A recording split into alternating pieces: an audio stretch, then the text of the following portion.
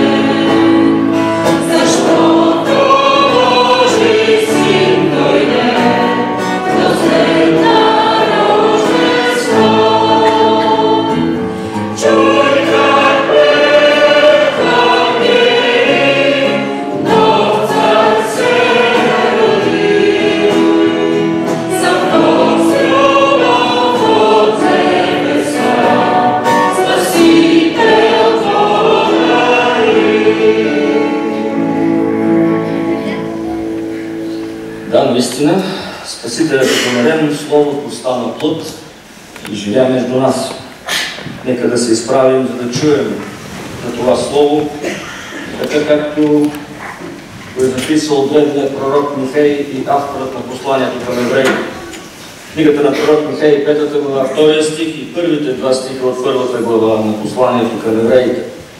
А ти, Витлеем Ефратов, макар и да си малък, за да бъдеш между юдовите родове, от тебе ще излезе за мен един, който ще бъде владетел в Израил, чието происход е от начало от вечността.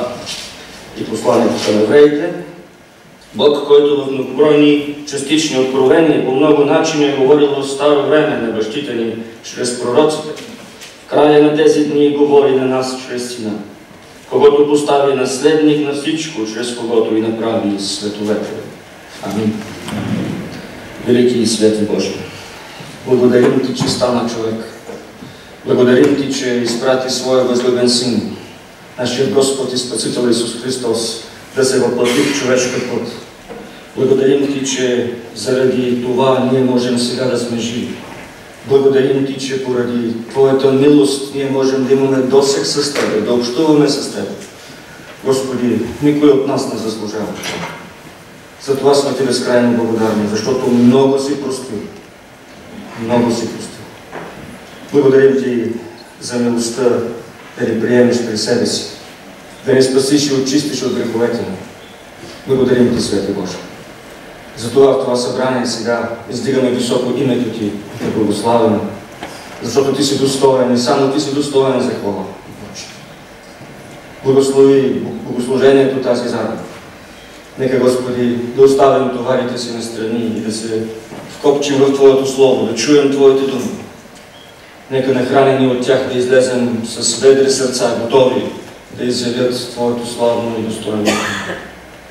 Моля те, Спасителю, да благословиш Авона на това място, Авоните в нашата страна, откъдето ще се проповядва днес Твоето Слово, да благословиш слугите си, които ще ломят хляба на живота. Господи, благослави и онези, които пътуват, за да ти служат това. Моля те да благословиш църквите ни, църквите в нашия съюз, църквите в България, които жадуват и купнеят, ти да бъдеш издигнат високо да благословиш нашия народ, който нарича себе си християнски, но едва ли толкова разбира какво точно празнуваме на Рождеството. Моля те да благословиш и онези, които ни управляват, да им даваш страх от Тебе, за да управляват мъдро. Благослови, Господи, страната ни и нека да има подем в духовно отношение сред нас. Това молим в името на Господ Исус Христос, който ни е научил събране заедно да казваме. А Отче наш, който си на небеса, да се святи името Твое, да дойде царството Твое, да бъде волята Твоя, както на небето, така и на земята. Хлябът наш насъщни, дай го нам днес и прости дълговете наши, както и ние прощаваме на нашите длъжници. И не ни въвеждай в изкушение, но избави нас от лукавия, защото е Твое царството и силата и славата и веки. Амин. Скъпи приятели, братя и сестри, огледайте се около вас, ако има някой човек, който не познавате или който а, има нужда от отношение. Не е много думи. Направете го. А, може би има някой дошъл за пръв път. Нека да си почувства удобно и пред между нас, защото е важно да изразяваме а, Божията любов, която Той е вложил, вдъхнал в сърцата ни чрез Святия Дух. Приветстваме и гости, ако има. Или по-скоро много от нашите членове са заминали на други места, дано пак там да посетят църкви, където се намират. Спомням си преди време, тъстът на един баща, добре познат измежду нас, подарил на бъдне вечер на внука си барабан.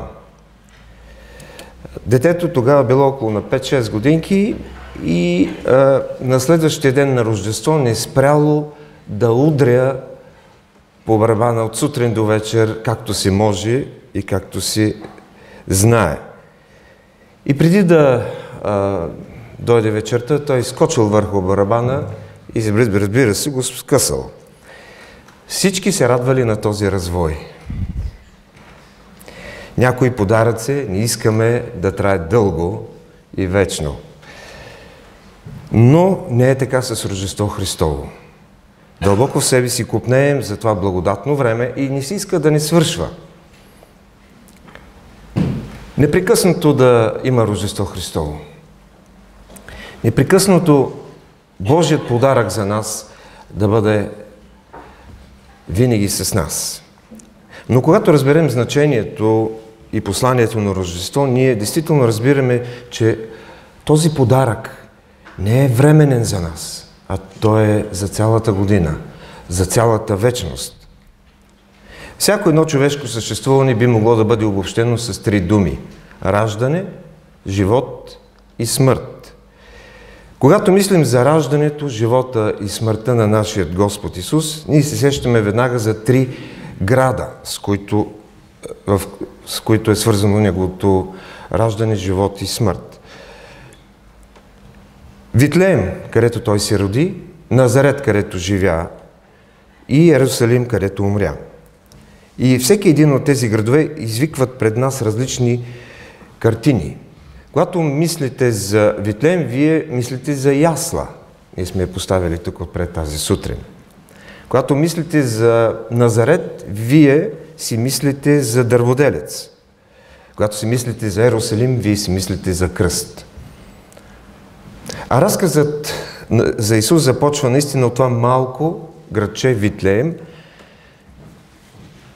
И както става с много други малки градчета, вместо да бъде един от неизвестните палестински градове, обвити в анонимност, той се превръща в тема за поети, предмет за вдъхновение на художници и цел за пътуване на много поклонници от цял свят. Днес Витлеем също така не е голям град, но то е едно живо доказателство, че най-ценните, най-важните неща се опаковат в малки опаковки. Поставят се в малки опаковки. Така е с бижутата, които купуваме и предлагаме на най-близките си хора. Има няколко факта за Виклеем, които го правят един от най-уникалните и велики градове в целия свят. Удивителни неща, които са се случили в този град в Стария Завет и ще видим как те са свързани с Рождеството на Спасителя. Ако можем да ги изредим хронологически, ще бъде добре. Сещам се за Витлеем, като място, където Рахил, възлюбената жена на Яков, е била погребана. Битие 35 глава ни разказва това 20 стих. Това е момента, когато тя ражда Вениамин, но умира по време на раждането. Това е едно ключово събитие и това се е случило във Витлеем. Ключово събитие за Яков. Патриархът Яков. Някой от вас си спомня, че преди години палестинците, филистимците, извинете, бяха решили да разрушат някои от светините на евреите. И те взели контрола над гроба на Йосиф и го превърнали в джамия. После постъпили по същия начин, осквернили гроба на Рахил. Така че това е едно от събитията преди много-много години. Преди а, следващия текст, който ни подсказва какво се случва в, в Витлеем е историята на един псевдопророк, който Бог все пак използва. Валам. Той беше нает от Моавският цар да прокълне Израел, но вместо това той имаше няколко пророчества, свързани с Израел. И 15 века преди Христос той казва, ще излезе звезда от Яков и ще се въздигне скиптер от Израел. Виждам го, но не, не сега. Ще се случи. но не сега. И това наистина се случва. На трето място това е град на изпълненото пророчество. В Михей 5 глава, аз прочетох, вие чухте пети, а, втория стих, това е едно от най-ясните и неоспорвани мисиански пророчества в цялата Библия. Михей пише това пророчество 7 века преди Христос да се роди. Представете си, че живеете в 1317 година в нашите земи и някой пророкува, че след 700 години София ще бъде, София ще се проведе председателството на Европейски съюз. И всеки би се питал какво ли е това Европейски съюз. Но това се случва. Ние разполагаме с точни характеристики за идващия Месия. Казва ни се, че той ще бъде владетел в Израел. А в Матей 2 глава 6 стих юдеите перефразират този стих пред цар Ирод, като казва пастир на моя народ, Израел. Така че той ще бъде помазаникът, той ще бъде суверена на Божият народ. Днес е модерно да говорим, че народът е суверен. Библията ни казва, че суверенът е Господ. И това не е било оспорвано от иудеите, това пророчество на Михей, напротив, дават на царят ясно разбиране за изпълнение на това пророчество. Освен това се казва много точно, идентифицирам си мястото Витлеем Ефратов. Защо е това допълнително определение Ефратов? Защото е имало два града с името Витлеем. Единият е бил на север от Назарет в Галилея, Другият е в Юдейската област, именно на това място. Така че няма съмнение за какво става дума. След това четем, че Витлеем е родното място на Воос, бащата на Овид, дядо на Есей и прадядо на цар Давид. Книгата Рут, още в първата глава, ни запознава с историята за съдбата на едно семейство от Витлеем, юдейски. Тази история започва с смърт и погребение и завършва с сватбено тържество.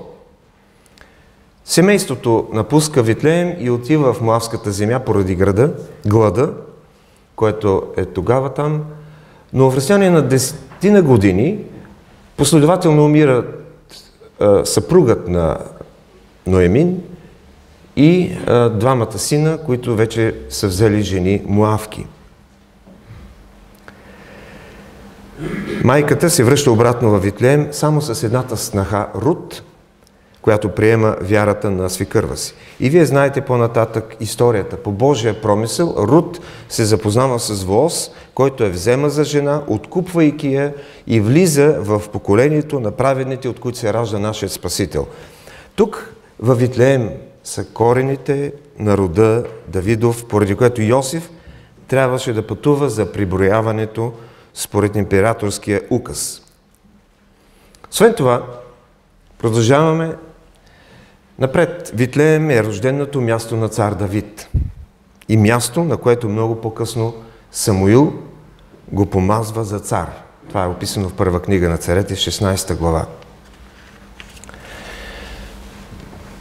Имахме голямо желание да чуем нещо повече от нашата сестра Божанка за Витлеем, която наскоро беше там, но а, още не се е възстановила от настинката, това ще го направи някой друг път. Така че, скъпи брати и сестри, това е Витлеем от Стария Завет. Но какво всъщност се случва в Витлеем на този ден? Детайлите, подробностите ще ги видите днес и ще ги чуете от най-малките, ако дойдете в 17 часа на нашето тържество и специална програма. Обаче какво продължава да се случва от Витлеем от, това, от този ден до днес? С това аз прочет, а, вие чухте втория текст от Евреи първа глава. Първи и втори стихове. В Витлеем Бог проговори чрез сина си и продължава да ни говори до днес. Казва се, че Бог, който в многобройни, различни, частични откровения и по много начини е говорил старо време на бащите ни, чрез пророците, в края на тия дни говори на нас чрез Сина. Разбираме, че Бог е говорил. И като съзнаваме, че Бог е интелигентна личност и че е дал на човека един известен интелект, тогава би било естествено и нормално да изчакаме той да ни проговори, той да ни каже нещо, да ни даде някакво откровение, ако вече не сме го получили. Съвсем логично е Създателят да иска да ни предаде своето послание. И той наистина го прави. Той наистина се свързва с нас, чрез Витлем. Откровението, което имаме, е вдъхновеното Божие Слово.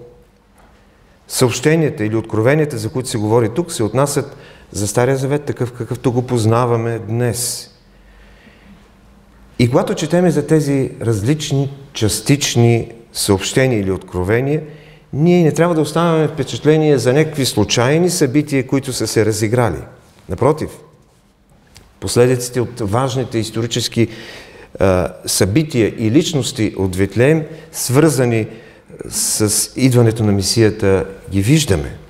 Тук се навляга на факта, че последователно Бог се е разкривал на избрани хора да открива части от своя спасителен план. Това, което е разкрил на Моисей, преди това не беше разкрил на Авраам. Това, което разкрива на Давид, не беше разкрил преди това на Моисей. Така че виждаме прогресията на Божието откровение за мисията. Бог не е дал цялото откровение и цялата си на един единствен човек, но постепенно прибавя към него чрез различни мъже през годините. И когато се изпълва времето, Бог изпраща своя син. Така че виждаме развитие на истината в Божието Слово. Казва се по много начини – е говорил. Означава, че Бог използва различни методи за да общува с нас. На Авраам се явява в сън, но дава на Моисей закона по един видим начин. По-късно дава някои обещания за нас чрез Исус Навиев.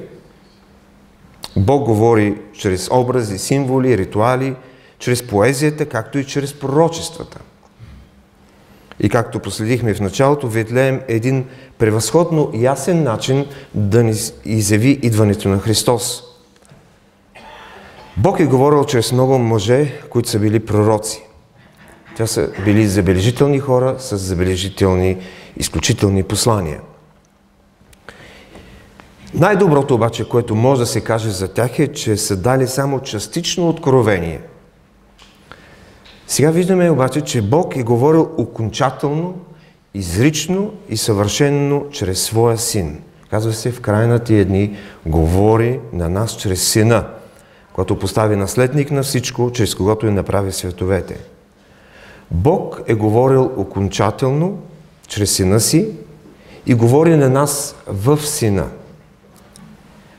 Ако Бог проговори в този миг от небето, мислите ли, че Той ще каже нещо ново и различно от това, което вече е казал? Съвсем не. Защото в Исус Христос ние, скъпи брати, сестри и приятели, имаме последната дума на Бога към този свят и към нас лично. Така че можем да бъдем на штрек, когато се изявяват някои съвременни пророци и говорят нови неща или ново откровение. В края на тия дни говори на нас към вярващите, които са приемали Неговото послание в Стария Завет. Послание за идването на Мисия. Говори на нас, съвременните вярващи, които приемаме факта на Христовото рождение. Спомните, че на планината на преображението Отец проговори от небето, като каза на останалите – този е моят възлюбен син, в когото е моето благоволение. Не го слушайте. Това, което той ви казва, това, което той ви говори. И след като Отец е дал последната си дума в Исус Христос, то това е последната дума и за нас. Говори ни чрез Сина. Затова Исус Христос превъзхожда всички автори на Стария Завет.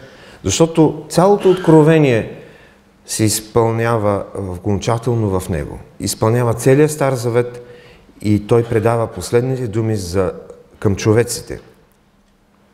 Той казва, от моето ще взема и ще ви известява чрез Святия Дух. Така че Божия Дух, говорейки чрез Йоанн, Яков, Лука, Петър, Павел, всички останали автори на Новия Завет ни е дал пълното откровение от Бога. И след това се разкрива превъзходството на Сина в седем изключителни изявления, които нямаме възможност да гърнем подробно, само ще ги спомена. Трудно е за нас да ги схванем напълно, защото те са толкова важни. Те са част от благовестието. Казва се, че Той е наследник на всичко. Христос извършва всичко това, което Адам беше изгубил. Господ е наследник на всичко, а в Римляни 8 глава 16 стих ни се казва, че ние сме сънаследници. Колко е важно това. След това ни се казва, че чрез Исус направи и световете. Ние не живеем в една хаотична вселена. В нея има цел, смисъл и закони. И Господ е, е онзи, който и предава смисъл. Казва се, че и Той е сияние на Неговата слава. Точно както слънчевите лъчи огряват и светлината ни разкрива физическото слънце, така Господ Исус ни разкрива Бога. Казва се, че Исус е съвършен образ на Неговото лице или в някои преводи отпечатък. Думата на гръцки е характер. Гравирано, отпечатано естество. От тук произлиза нашата дума характер. Казваме, че Господ Исус е откровение за Бога, защото Той показва Неговия характер. Не как физически е изглеждал, а характерът. Също така се казва, че Исус държи всичко чрез своето могъщо слово. Онова малко бебе, което лежи в ясните, само с една дума е можело да прекрати съществуването на тази Вселена. Той държи под контрол чрез своето могъщо слово всичко. Той не само сътвори всичко чрез Словото си, но и държи всичко в едно цяло – Казва ни се също, че извърши чрез себе си очищение на греховете, очистване на греховете. Господ Исус направи нужното за очистването на греховете. Някои църкви вярват, че има чистилище. Скъпи брати, брати, сестри и приятели, няма друго чистилище, онова, което е това, което е имаме в Исус. То е очистване на греховете ни. Ако някой не премине през това чистилище, Господ Исус Христос сега няма да има шанс за друго чистилище. Исус плати цената за нашите грехове. И това е нещо прекрасно. Затова Той дойде. Затова празнуваме Рождество. Онзи, който дойде при младенецът, получава пълно изкупление и цялостна прошка на греховете – затова призивът на Божието Слово тази сутрин е Ела при Исус да бъдеш съвършенно очистен. И последното, седното изявление, за, който, за Исус, който се роди във Витлеем е седна отдясно на величието на високо. Това е цялостното послание на книгата Евреи всъщност. Когато се върна при трона на Отца, Господ прие слава и величие по-голяма от тази, която някога е имал. И в небето днес съществува нещо, което преди 2000 години и назад не е имало. Исус Христос стои в слава, но с прободени ръце и с прободени ребра и нозе. Защото дори и след прославеното му тяло, тези белези остават. И когато един ден го видим, ние ще го познаем по тези белези. Казва се, че той седна – не означава, че той толкова се уморил, че повече не може и едва-едва се е добрал до трона на Отца. Идеята е, че Христос извърши всичко необходимо за нашето спасение, за нашето изкупление. Всичко е било завършено. Няма какво повече да се направи. Спомняте ли си да сте се върнали някога от дома си, вкъщи, и да сте си казали така с удоволствие, всичко направих днеска. Толкова съм доволен. Цялата работа свърших на света. На мен не ми се е случило. А ако погледна вашите бюра, работни места, в къщи ще видим колко е разхвърлено, защото има много работа да вършим още. Но Христос седна, защото всичко беше завършено. Всичко това, което започна от Витлеем и завърши на кръста. Исус, Синът, и днес продължава да ни говори чрез Своето Слово, чрез празниците като този, които споменаваме, преживяваме евангелската история за спасение. И днес Исус по особен начин ни говори чрез Витлеем, защото Витлеем не е само едно оригинално място за Рождество. Витлеем е нашето сърце, в което Той се ражда или трябва да се роди. Въпросът е, има ли място за Него в Твоя Витлеем, в Твоето сърце? Къде го приотяваш? В края, по крайнините на сърцето или на престола, на централното място на душата. Не ми казвайте, че Бог ви говори, макар че много рядко четете Библията, макар че изобщо не посещавате библейски групи. Няма как да е истина. Няма как да е вярно. Как точно ти говори Господ в твоя Витлеем? Но ако все пак ти говори чрез писанието, чрез напомненето на, на духа, чрез обстоятелства, чрез различни вярващи, какви са мислите, какви са чувствата ти, когато Исус те посещава? Как знаеш, че ти говори наистина? Той или някой друг? Каква е твоята реакция на Неговият глас, на Неговия шепот? Четох за рождественият хим О свята нощ. Няма кой знае какво да се разказва за този хим. До вечера хорът ще изпее. Авторът е композиторът Адолф Чарлз Адам, френският композитор. Иронията е, че в началото на нейното появяване и изпяване в църквата, тази песен е била отхвърлена от църковните власти в една църква с мотива, че е проява на лош музикален вкус и липсва религиозният дух. Внимателният прочет на текста обаче ни говори точно обратното. Казва ни се, че светът лежеше в тъмнина, в грях и неправда, докато се появи Той, светлината, Спасителят на света. Ректорът на една богословска семинария отишъл на среща с акредитационната комисия, която го поканяла да изложи целите на Висшето учебно богословско а, заведение. Без никакво а, колебание ректорът заявил Целта на нашата семинария е да промени света. Членовете на комисията си спогледали и казали, вие май не разбирате. Знаем, че да се повлияе на света по един положителен начин, това е цел на всяка образователна институция. Искаме нещо по-конкретно. Каква е целта на вашето духовно училище? Професорът потвърдил отново без колебание. Целта на нашето училище е да промени света. Скъпи приятели, точно за това дойде Исус. Да промени света. И няма по-подходящо време през годината да си спомним защо дойде Исус на Рождество. Във Витлеем започна промяната на света. Но въпросът е дали ти и аз, ние всички сме променени от Исус. Не можем да променим света, не можем да променим приятелите си, близките си, хората около нас, ако ние не сме променени.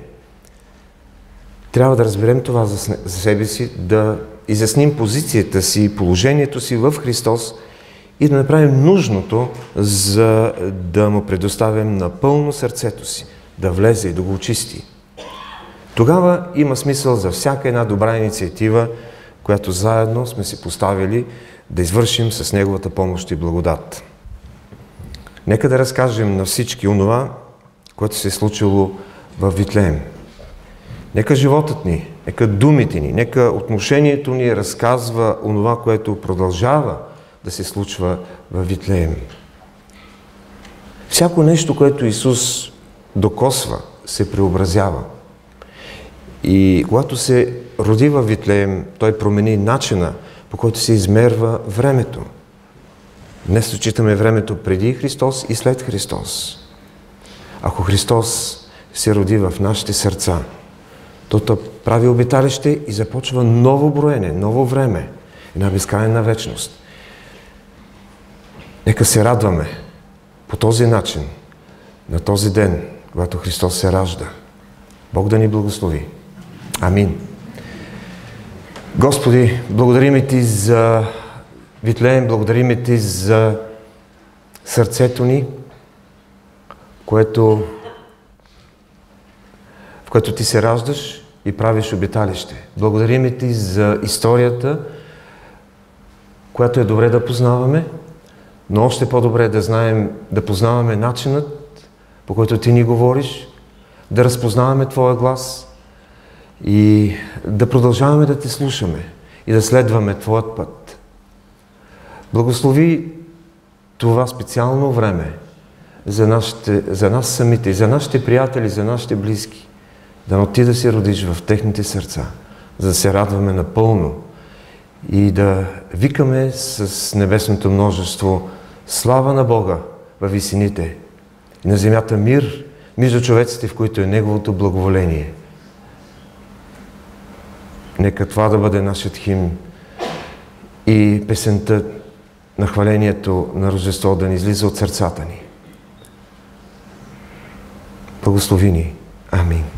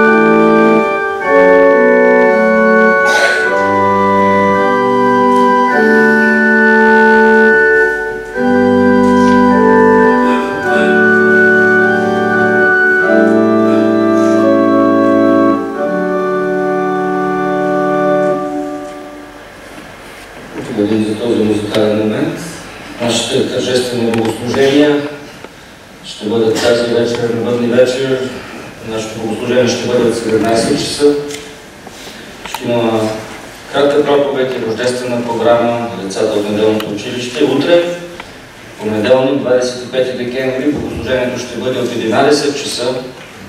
То ще бъде тържествено и празнично посветено на Родения Христос. На 31 декември също ще имаме богослужение, но то ще бъде само едно. Само едно от 10 часа. Иначе нашите редовни богослужения са всяка неделя сутрин от 10 и всяка неделя вечер от 18 часа. Молитвените събрания на църквата са всяка сряда от 18 часа. Тази сряда сестрите няма да имат събиране преди молитвената служба, иначе тя ще бъде редовна от 18 часа. Можете да вземете ръста звоница, в изхода на църквата, библиотеката ще бъде отворена, както и книжарницата, защо не. Може да се събираме и да общуваме заедно за Бога. Втората седмица на месец януари ще бъде молитвена седмица. Има програма, която също при на църквата може да се снабдите с нея. А сега едно музикално съобщение от пастор Николов. Миналата година имаше рождествен концерт в зала България. Тези от вас, които бяха, се спомнят, но дисковете с рождествена музика излезаха по-късно. Затова подозирам, че някои не са се набавили. Може да ги намерите в книжарницата. От миналата чуйте ангелският хор. А, обаче сега доктор Пол Риджуей ни е предал дискове от минали години, от 2005 година до сега. Имаме около 50 броя от 5 различни рождествени концерта в зала България или в НДК, в зависимост от това кога е било, така че те са безплатни. И при вратата там брат Искрен ще ги сложи кашончето, така че около 50 бройки имаме безплатни дискове от минали концерти, така че да озвучите ако вече не сте го направили, къщата си в тези дни. Завършим с песента от Чудна нощ по номер 114, по времето на която ще мине дискусия за нуждата на Божието дело на това място. О, чудна нощ, кога изгря небесна светлина и хор от ангели запя сред нощна тишина. Господи,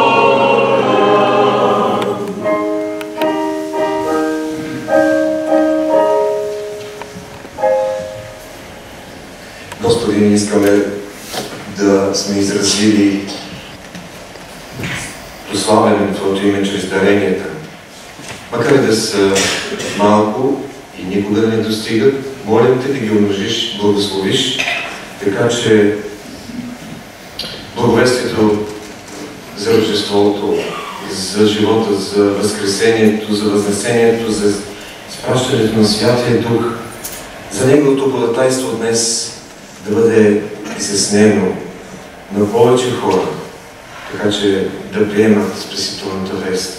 Сега благодата на Господ Исус Христос, любовта на Бог Отец, присъствието, ръководството, общението и силата на Святия Дух да бъде и пребъде всички нас, домовете ни, децата ни, църквата на това място, в нашата страна и по целия свят, сега и през вековете. Амин.